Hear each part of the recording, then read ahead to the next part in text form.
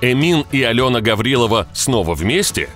Прошло уже полтора года с момента развода Эмина и Алены Гавриловой. Их расставание было неожиданностью для окружающих.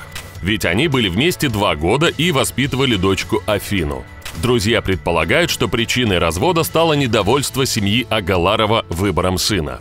Однако молодые люди появились на торжественном ужине в Дубае как пара.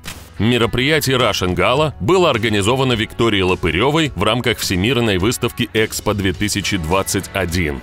Эмин и Алена вели себя как влюбленные, с удовольствием позировали вместе и обнимались. Ранее летом они совершили совместную поездку на курорт в Азербайджане. Пользователи сети уверены, что экс-возлюбленные снова вместе. А как вы думаете, нужно ли идти против семьи при выборе партнера?